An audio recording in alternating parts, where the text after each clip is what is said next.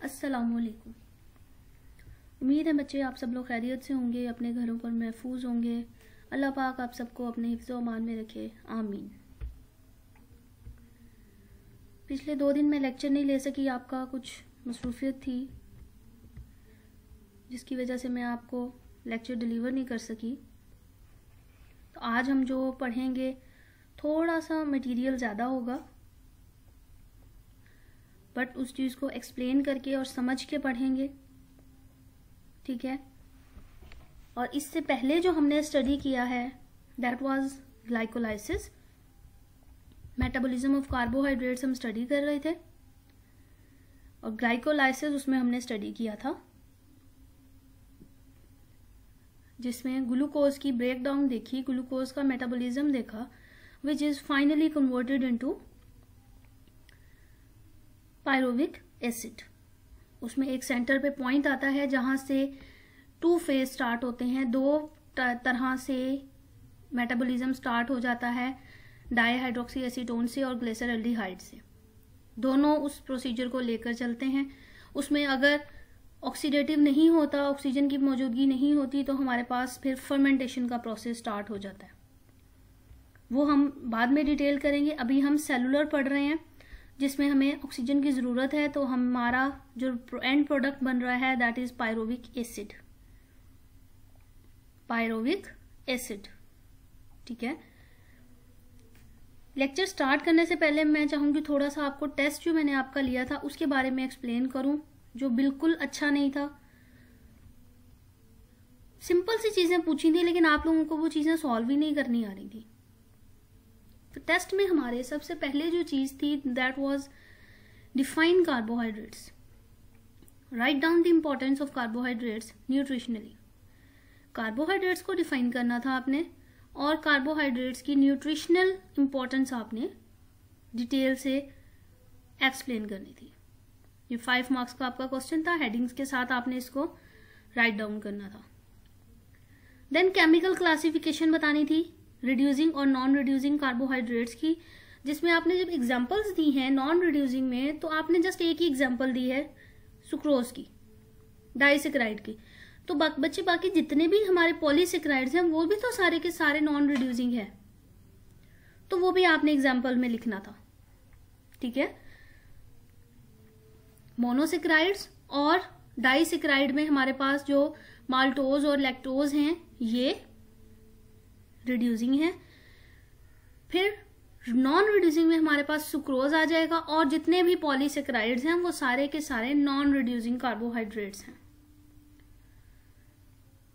फिर how carbohydrates are classified on the basis of structure structurally हमने classify करना था कार्बोहाइड्रेट्स को, जिसमें open chain structure forward structure हमने स्टडी किया था हेमी एसिडाल्स को स्टडी किया था तो ये आपने बताने थे।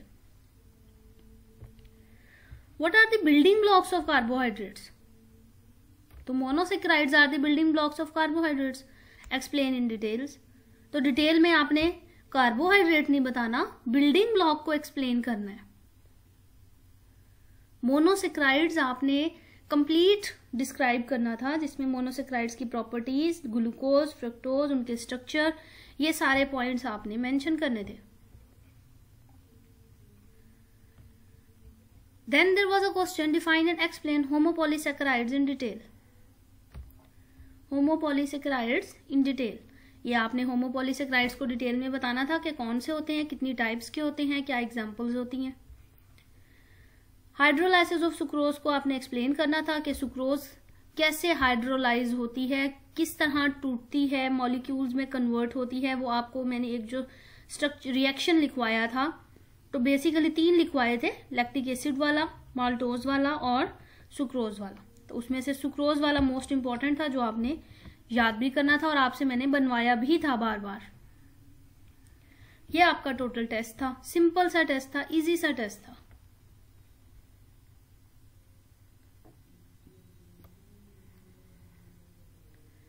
तो अब नेक्स्ट जो हम अपने लेक्चर की तरफ़ आते हैं ग्लाइकोलिसिस हमने डिस्कस कर रहे थे।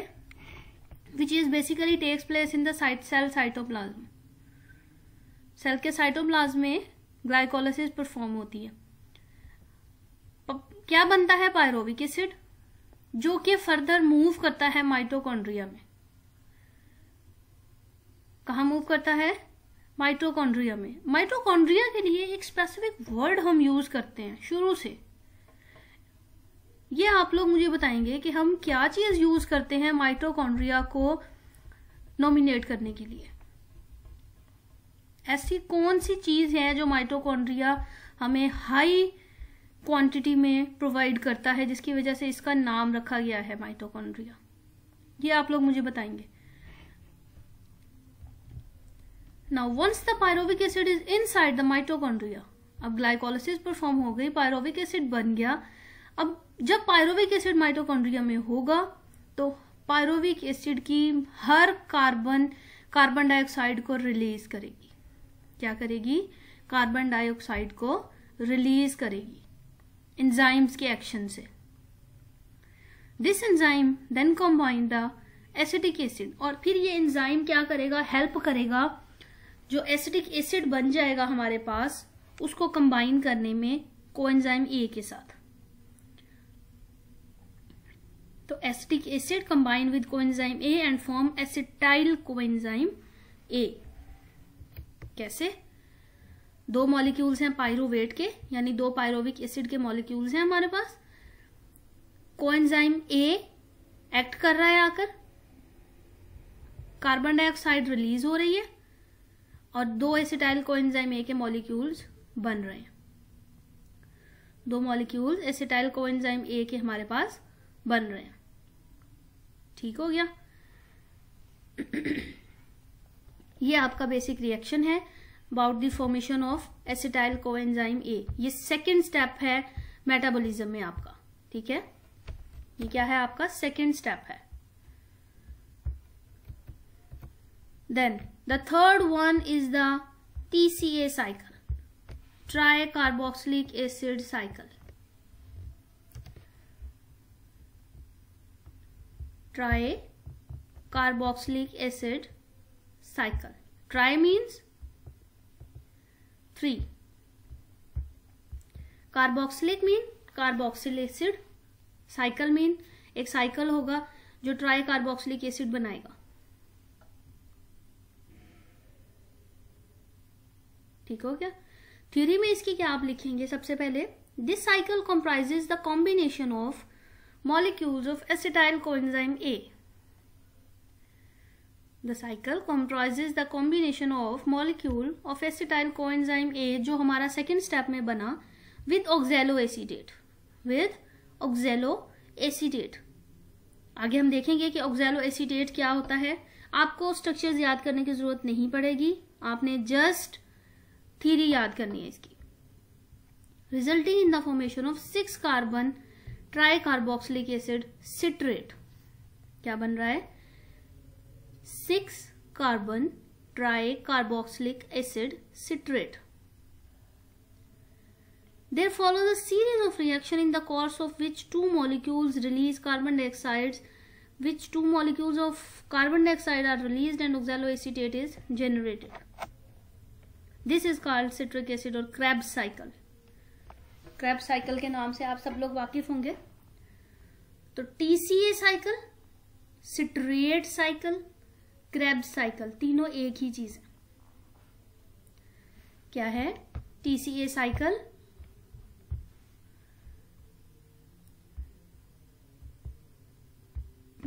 TCA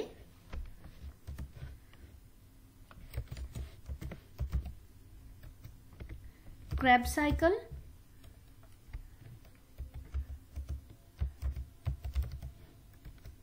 and citrate cycle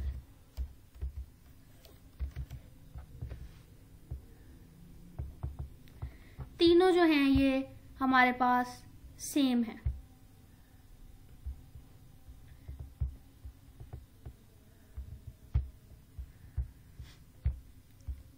Tri carboxylic acid cycle and Krebs cycle citrate cycle ठीक है? यानी इसकी जो रिजल्टिंग प्रोडक्ट होगी, वो सिट्रेट होगी।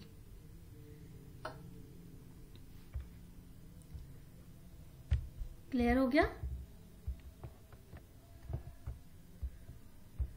अब the cycle comprises the combination of molecule of acetyl coenzyme A with oxaloacetate which leads to the formation of a 6 carbon compound tricarboxylic acid citrate. There follows a series of reactions which releases carbon dioxide and generate oxaloacetate. Then this cycle consists of basic 8 steps. Each acetate which is a 2 carbon entered in the mitochondria combined with the 4 carbon oxaloacetate compound acetate combined with the oxaloacetate 4 carbon oxaloacetate के 2 carbon acetate के and form a 6 carbon 4 and 2 6 हो जाएँगे 6 carbon and Krebs cycle starts leading to the formation of 24 ATP molecules. Krebs cycle generate 24 ATP molecules. Krebs cycle generate 24 ATP molecules. सबसे ज़्यादा energy के molecules release होते हैं। Now what is Krebs cycle acetyl coenzyme A हमारे पास बन गया था। रिएक्शन हुआ किसके साथ? ऑक्जेलो एसिटेट के साथ। क्या बना?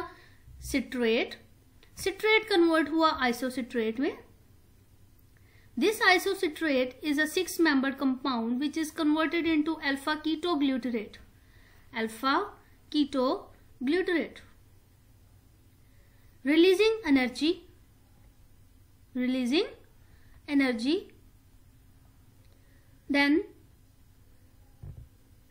This alpha ketoglutarate also release carbon dioxide. Ketoglutarate also release carbon dioxide and convert it into succinyl coenzyme A. Succinyl coenzyme A.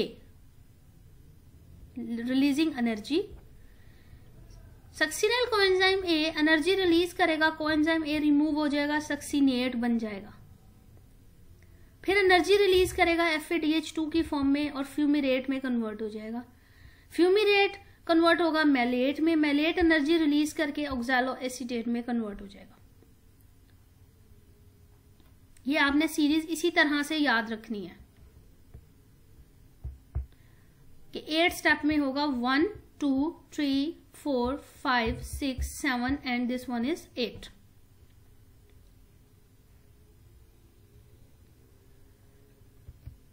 then यहाँ आप देखेंगे? कि किस तरह से एनर्जी बन रही है? एसिटाइल कोएंजाइम ए था सबसे पहले? छह मेंबर सिट्रेट था कन्वर्ट हुआ आइसोसिट्रेट में कार्बन डाइऑक्साइड रिलीज़ की हाइड्रोजन एटम रिलीज़ हुए, यानी एनर्जी रिलीज़ हुई in the form of NADH convert हुआ पाँच मेंबर कंपाउंड में। ठीक है? This five member compound releases carbon dioxide carbon एक कम हो गया then converted into a four carbon compound succinyl coenzyme में एंड सक्सीनेट कन्वर्ट होगा फोर कार्बन कंपाउंड में releasing ATP this four carbon compound release energy in the form of FADH2 and converted into fumarate. Fumarate converted into malate. Malate release energy and converted into oxaloacetate. वही सारी चीज़ है। बताया यहाँ क्या है? Six carbon कौन सा है? फाइव कार्बन कौन सा है? फोर कार्बन कौन सा है?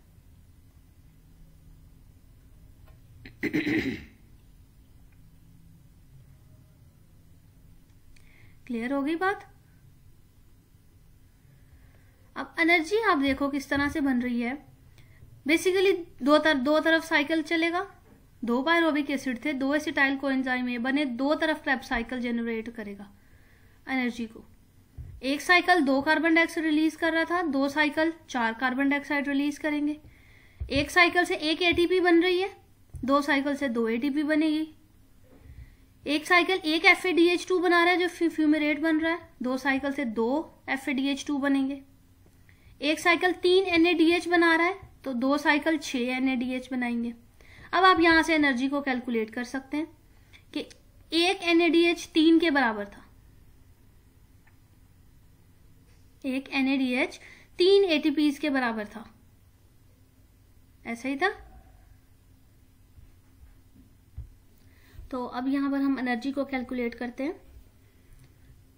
दो तरफ़ साइकिल कौन चल रहा है मतलब हमने टू साइकिल्स वाले स्टेप को फॉलो करते हुए एनर्जी काउंट करते हैं। दो एटीपी बन रहे हैं? प्लस एफ़ के दो मॉलिक्यूल्स हैं। एक मॉलिक्यूल दो एटीपी बनाता है। तो दो मॉलिक्यूल चार एटीपी बनाएँगे। ठीक हो गया? पहला एफ़ से दो एटीपी बन गए, दूसरे एफ़ से भी दो एटीपी बन गए। देन छ एनएडीएच बन रहे हैं। एक एनएडीएच तीन एटीपी के बराबर है। मतलब टोटल छ एटीपी होंगे टोटल छ एनएडीएच वन से तीन, फिर दूसरे वाले से भी तीन, तीसरे से भी तीन, चौथे से भी तीन, पाँचवें, छठे और इन छ के छ एनएडीएच से हमारे पास क्या बनेगा? एनएडीएच बनेंगे। एटीपीज रिलीज़ करेंगे। One two three four five six ठीक हो गया?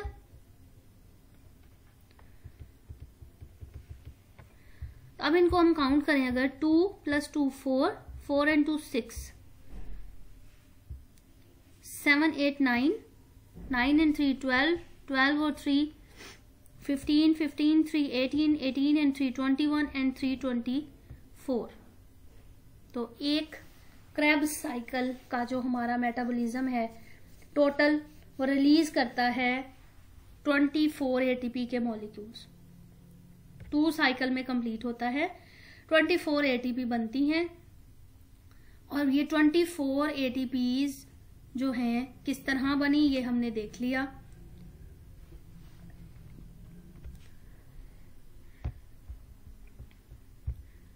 अब जो हमने ग्लाइकोलाइसिस किया, उसमें नेट मॉलिक्यूल दो बन रहे हैं हमारे पास। एटीपी के दो मॉलिक्यूल बन रहे हैं। ठीक है? और जो क्रेब साइकिल है, उससे हमारे पास नेट एटीपी कितने बन रहे हैं? Twenty four ATP twenty four ATP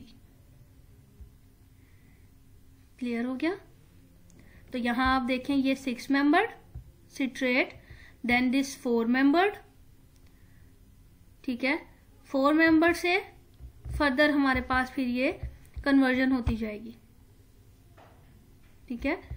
five membered होगा सेंटर में हमारे पास देन ये four member six member five member and fourth member four members का मतलब है फोर कार्बन फाइव मेंबर मतलब फाइव कार्बन वाला. जहाँ कार्बन डाइऑक्साइड रिलीज़ हो रही है, वहाँ एक एक कार्बन आपने कम कर देनी है, वो फाइव मेंबर फोर मेंबर इस तरह कन्वर्ट होता जाएगा. एनर्जी सब में रिलीज़ हो रही है, सिर्फ़ फ्यूमिरेट जहाँ बनेगा, वहाँ पर एफ़ रिलीज़ होगी. ठीक है? ये टोटल आपका प्रोसीजर है, जिसमें एटीपी बनने का प्रोसीजर आप देख रहे हैं, किस तरह से एटीपी बन रही है।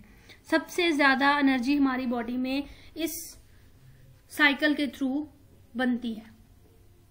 इस साइकिल के थ्रू बनती है हमारी बॉडी में एनर्जी ठीक है, ये सारे का सारा आपने ये जितना हमने आज पढ़ा है, ये सारा आपने लिखना है। ठीक है, पहला ग्लाइकोलिसिस लिखा देन आपने पिछले लेक्चर में भी लिखा फॉर्मेशन ऑफ़ एसिटाइल कोएंजाइम में बट वहाँ थेरी नहीं थी। थेरी यहाँ पर ऐड की है। दोबारा ये आपको रिएक्शन दिखाया है। ये रिएक्शन बना लें। अगर आपको इसका स्ट्रक्चर आता है, आप स्ट्रक्चर बनाकर इसका नाम लिखकर वाजे कर दें। जैसे आपको इजी लगता है, आप इसको याद करें। ये लाजमी है। इसका स्ट्रक्चर बना लेंगे वेल एंड गुड हो जाएगा। देन टीसीए क्रैप साइकिल या सिट्रेट साइकिल हमने देखा। किस तरह बनता है? सिक्स मेंबर फाइव मेंबर में फाइव मेंबर फिर फोर मेंबर ऑक्जेलो एसिटेट में कन्वर्ट हो जाता है। एट स्टेप्स में टोटल ये प्रोसीजर कंप्लीट होता है हमारा। और डिफरेंट हमारे यहाँ पर एनर्जी रिलीजेस रिलीजिंग पॉइंट्स हैं कार्बन डाइऑक्साइड रिलीजिंग पॉइंट हैं। तो ये आप लोगों ने देखने हैं, समझने हैं। ठीक हो गया? तो ये आपका टोटल आज का लेक्चर था।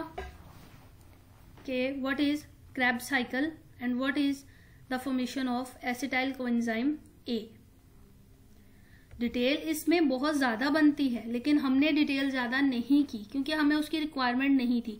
हमारे सब्जेक्ट के अकॉर्डिंग हमारे सब्जेक्ट के वॉल्यूम के अकॉर्डिंग इतना स्ट्रक्चर आपके लिए याद रखना इनफ है। ठीक है? तो इसको आपने बच्चे अच्छी तरह से ड्रॉ करना है, मुझे चेक करवाना है, ताकि मैं आपकी अटेंडेंस जो है वो मार्क कर दूँ। दो लेक्चर्स हैं मींस दो अटेंडेंस आपकी मार्क होंगी आज की। अटेंडेंस आज की आपकी दो मार्क होंगी फ़र्स्ट की और सॉरी सेकंड की और आज थर्ड की। ठीक हो गया? कोई क्वेश्चन हो, किसी तरह की कोई क्यूरी हो, आप लोग पूछ सकते हैं। और बच्चा क्वेश्चन करके थोड़ी देर के लिए इंतज़ार करते होते हैं। ठीक है? आपने क्वेश्चन पूछ लिया, आपके टीचर ने अगर वो क्वेश्चन देख लिया है दैट मीन्स वो टीचर या तो बिज़ी है, अभी आपको रिप्लाई नहीं कर सकता। ठीक है? तो बच्चे टीचर को जब मैसेज कर दें, थोड़ी देर के लिए टीचर को टाइम दें कि वो टाइम निकाल ले फ्री होकर आपको आंसर कर दे। ऐसा नहीं होगा कभी भी कि आपको उसका जवाब ना मिले। आपको आंसर मिलेगा, लेकिन थोड़ा सा टाइम दिया करें टीचर को। ठीक है? अगर टीचर ने मैसेज गलती से पढ़ भी लिया है तो हो सकता है कि वो उस टाइम बिज़ी है, वो आपको जवाब नहीं दे सकते। ठीक हो गया? क्वेश्चन करें, ज़रूर करें। आपको क्वेश्चन से रोका नहीं जा रहा, लेकिन थोड़ी सी पेशेंस रखें। थोड़ा सा हम्बल रहें, ठीक है? और आपको आपके लेक्चर टाइम के दौरान कोशिश हमारी यही होती है कि सब मेंबर्स आपको उसी टाइम आंसर करें।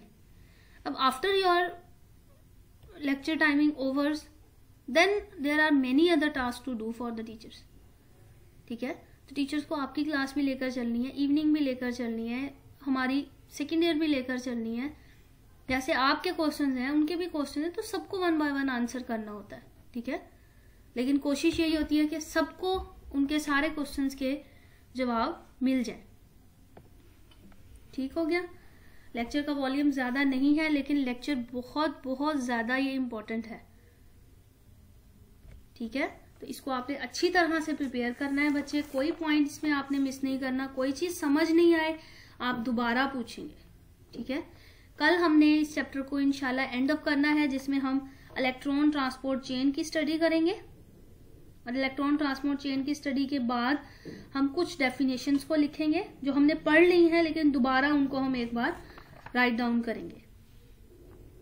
और इसके अलावा एक और चीज़ आपसे डिस्कस करनी थी, बल्कि आपको बतानी थी कि आपने जो फिजियोलॉजी में एंडोक्राइनोलॉजी पढ़ा है और हमारे नोट्स के अंदर जो एंडोक्राइनोलॉजी का पोर्शन है that start from our page number thirty one hormones के नाम से, ये सेम है, ठीक है?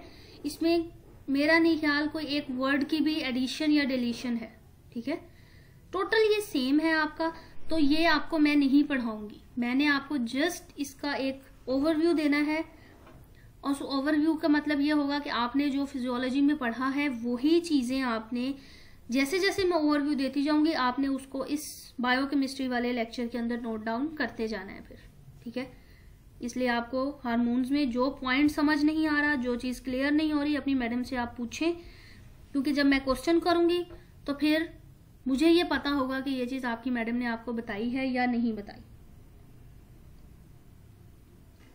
ठीक हो गया? और इसके अलावा जो हमारा इससे नेक्स्ट चैप्टर है एंजाइम्स का, वो भी आपने फार्माकोग्नोजी में डिटेल में बहुत अच्छी तरह से पढ़ लिया है। उधर से थोड़ा मटेरियल कम ही है यहाँ, ठीक है?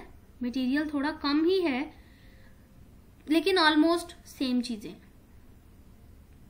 चीज़ें सारी की सारी सेम है, उसी तरह से डेफिनेशंस हैं, उसी तरह से प्रॉपर्टीज़ हैं, उसी तरह से इसके क्लासिफिकेशन है एंजाइम्स की old system new system classification का देन फैक्टर्स मैकेनिज्म यूजेस सारा कुछ टोटल सेम है। तो ये दोनों चैप्टर्स आपको मैंने नहीं पढ़ाने।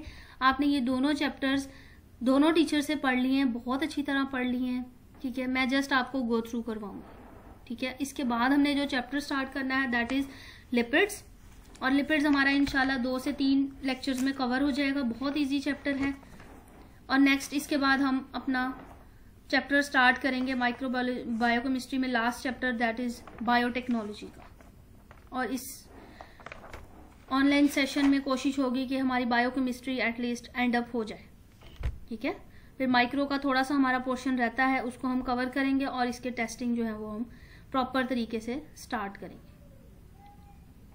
आज सारी क्लियर हो गई है। एंडोक्राइनोलॉजी यानी कि हार्मोन्स और एंजाइम्स ये दोनों चैप्टर्स आपको मैं नहीं पढ़ाऊँगी। मैं जस्ट आपको ओवरव्यू दूँगी इन चैप्टर्स का और आपसे टेस्ट लूँगी। ठीक है? इस लेक्चर से रिलेटेड किसी का कोई क्वेश्चन कोई क्यूरी हो, आप लोग पूछें। और एक और चीज़, ये साइकिल आपने अपने नोट्स में से ज़रूर टैली करना है। कुछ पॉइंट जो आपको यहाँ कंफ्यूजिंग लग रहे होंगे six carbon four carbon five carbon वाले, आपके नोट्स में सर्कल्स बने हुए हैं। पहले छह सर्कल्स हैं, फिर पाँच सर्कल्स हैं, फिर चार सर्कल्स हैं। तब आपको समझ आ जाएगी कि ये नाम क्या है। और कौन सा सिक्स मेंबर है, कौन सा फोर मेंबर है। ये आप लोग टैली करेंगे, इसको बनाएँगे, मुझे चेक करवाएँगे तो मैं आपकी दो अटेंडेंस जो है वो मार्क करूँगी। ठीक हो गया? थैंक यू सो मच अल्लाह हाफिज़।